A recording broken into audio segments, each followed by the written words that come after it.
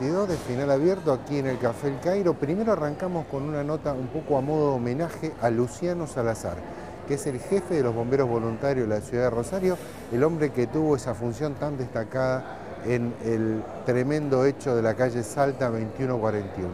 Luego también va a estar aquí con nosotros el ministro de Seguridad de la provincia de Santa Fe, Raúl Lamberto, un hombre que está en el foco de la tormenta, ha sido personalmente amenazado ya por tercera o cuarta vez con fuertísimas amenazas telefónicas. La verdad que el tema narco está tomando dimensiones graves en la provincia y tal vez él nos pueda ayudar a entender qué es lo que se está debatiendo en este momento. Luciano Salazar y Raúl Lamberto aquí en Final Abierto. No se vayan.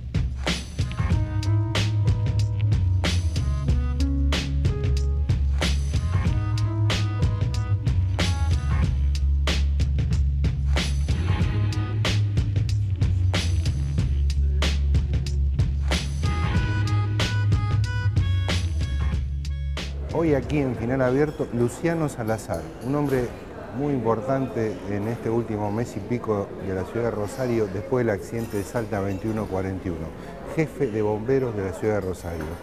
Esa organización que sensibilizó a toda la sociedad argentina con su modo de trabajar arrojado, con su modo de trabajar responsable. Gracias por estar con nosotros. No, por favor, gracias a ustedes por la invitación. Desde ya una felicitación por toda la tarea que han hecho y un agradecimiento. Y un poco, eh, nada, eh, desde lo personal, supongo que te habrá cambiado la vida, ¿Qué, qué es lo que pasó con Salta 2141, por qué en todo caso vos sentís que se produjo esta enorme solidaridad del pueblo rosarino.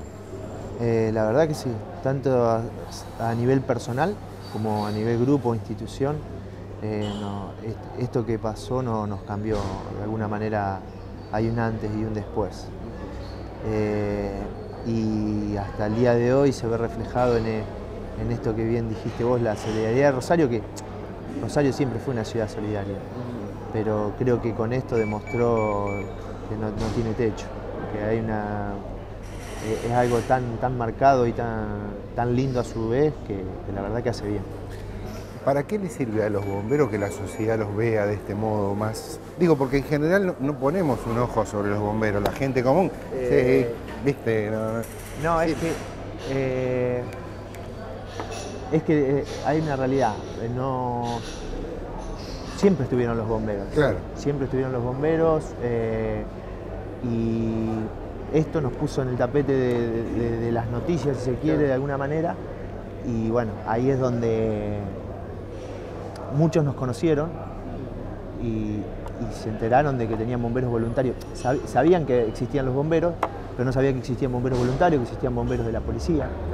Eh, y así un montón de detalles y una de las cuestiones que más sintió la gente es ver la realidad en la que, estamos a nivel recurso material, recurso económico.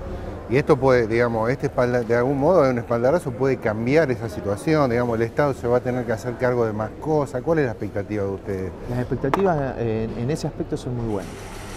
Son muy buenas porque se acercaron eh, muchas personas, muchos ciudadanos, empresarios, a querer darnos una mano, instituciones. Los otros días en un acto de reconocimiento que se le hizo en la Ciudad de Buenos Aires, que nosotros me tocó participar acompañando esa situación, ahí el ministro de Seguridad de la Nación explicó algo que yo desconocía, que es que hay una alícuota de seguros, que se cobra a los seguros, que va destinado a todos los cuarteles bomberos voluntarios de la Argentina. Ese dinero que dijo que para 2013 podía estar en el orden de promedio de alrededor de 180 mil pesos por cuartel, ese dinero es una parte chiquita, es una parte importante. ¿Cuánto significa, si es que vos lo sabés, respecto de lo que gasta de funcionamiento y de equipamiento cada cuartel de bomberos? Todo tiene que ver con la estructura de cada cuartel.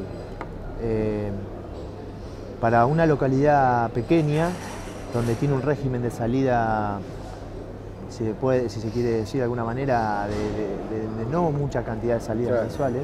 Digamos, eh, un par por día, ponele o... No, e, eso sería un régimen bastante activo. Claro. Eh, ese, ingreso es, un dinero muy importante. Muy importante. Eh, y lo que tienen por ahí las ciudades pequeñas, que eh, es lo único que tiene esa ciudad, es sus bomberos. Acá es distinto, tienen bomberos de la policía y, nosotros. Entonces hay un aporte constante de, las empresas y demás. En cambio, para nosotros como institución que, con un cuartel relativamente grande por la cantidad de personal que tenemos y demás, si bien es una ayuda muy importante, eh, siempre decimos lo mismo, nunca alcanza. Los gastos son muchos más. Claro, vos tenés que ir actualizando todo el tiempo el equipamiento, eh, los gastos operativos son, son muy altos, entonces eh, es muy importante el aporte pero nunca, no es suficiente con eso solo. Entonces ahí ¿En un cuartel de bomberos voluntarios nadie cobra un salario o sí hay gente que cobra? No, los únicos que cobran, eh, que en este caso son bomberos también, son los que nosotros conocemos como cuarteleros o, los que están, eh, los, telefonistas, que son los que están durante, durante el día. Nosotros tenemos guardias activas con personal en el cuartel durante la noche, de 20 a 08, y los domingos de 24 horas pero los días de semana durante el día hay, un hay dos turnos donde hay dos personas que son los, encargados de atender el teléfono. Entonces cualquier emergencia, si es necesario, se deriva a bomberos de la policía, en caso que no haya personal en ese momento, a bomberos salvadores, eh, y si hay personal nuestro, sale. Y en caso de ser algo de una magnitud, como ocurrió en la calle Salta, eh, inmediatamente se, convoca, exactamente, exactamente, se convoca y acude tenemos un promedio entre 15 y 20 minutos de demora, depende, tiene que ver mucho el horario, eh, de salida de la primera unidad. Luciano, ¿y vos trabajás en, se puede saber en dónde? Sí, sí, sí, yo trabajo en un traslado de chicos especiales, ese es mi trabajo. O sea, el propietario es un amigo y bueno, eh, ya desde hace un tiempo eh, estoy trabajando. Conduciendo un vehículo. Exactamente, en una, un, un minibús y es algo que, que digamos, me, gusta, porque sí, sí, tengo muy, muy buena afinidad con, todos los chicos y, la verdad que es, algo muy especial, es, algo muy, muy lindo. Ahí en, la oportunidad que tuvimos en Buenos Aires cuando compartimos ese ratito con el compañero que es jefe provincial de Venado Tuerto. El jefe operativo de El jefe operativo. Em, Romo, ¿no? Sí, Daniel Romo. Daniel Romo. Jefe de Bombero Venado Tuerto. Claro, él este, un poco destacaba tu, capacidad de articulación porque en Salta 2141 intervinieron una gran cantidad de unidades de distintas procedencias. ¿Eras consciente de que tenías un poco esa, esa condición de articular? ¿Lo descubriste ahí, digamos, sobre el terreno? Porque supongo que además hay que articular, pero hay, hay que tener conducción también, ¿no? Y decisión, ¿no? ¿Cómo, cómo funciona a mí, A mí me, toca asumir en, este cargo con 33 años, eh, que lo asumí con mucha responsabilidad y un desafío muy importante. Por lo general, quienes asumen al frente de los cuarteles son bomberos de muchos más años. El, el trabajo de ustedes, que es, vamos a decir, profesional, sin embargo, la, característica de esta tragedia fue que hubo una cantidad de horas, muchas, varios días, donde la ciudad quedó como una especie de silencio expectante respecto a las personas que no aparecían y respecto de alguna expectativa de que pudiera haber alguna persona con vida.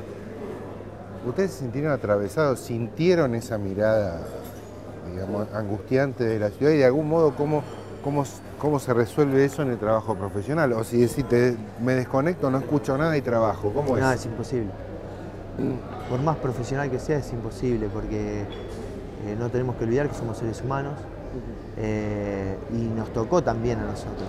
La diferencia, quizás, eh, espero no equivocarme, es que teníamos muy claros los objetivos, a dónde íbamos. Y en este caso era lograr rescatar a esas 21 personas que, que no se sabía dónde estaban. Eh, la esperanza nunca se perdió, el resultado que ya todos conocemos, pero devolverle a, esa familia, aunque sea los cuerpos. Nuestro objetivo era claro. Entonces, si bien había momentos de flaqueza, como pasa en toda situación, pero el objetivo era muy claro. Entonces nos apoyábamos entre los propios compañeros y ahí jugó un papel muy importante la ciudadanía. La ciudadanía de Rosario, esa calle Oroño entre, entre Salta y Catamarca, ese apoyo, esa contención, eh, jugó un papel muy importante por eso es que nosotros en cada momento que tuvimos posibilidad le agradecimos porque era el motor de nuestra búsqueda, si se quiere. Ahora sí la última. Cuando uno ve que hay que sacar escombros para buscar gente que puede estar ahí abajo. Uno dice, no hay manera de sacarlo más rápido a los escombros. ¿Viste? Es como una cosa de decir, a ver, a ver, si fueron 100, no, podemos poner en vez de 100, 500 personas a trabajar y que cada uno saque una piedra y, en, y en cinco horas llegamos abajo. No se puede, pero digamos, ¿por qué no se puede? Te lo planteo de la situación de comienzo de la catástrofe. Eh, vos imaginate que todos los, bomberos, los bomberos que acudieron al lugar en primera instancia, policía, voluntario, se metían todos a trabajar.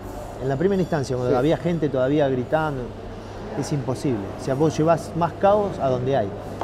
De ahí está el profesionalismo de cada uno, es mantener la calma, trabajar sereno, y, aunque no parezca, esa serenidad que lleva el bombero se la transmite a esa persona que debe ser rescatada y hace que el trabajo sea más ágil.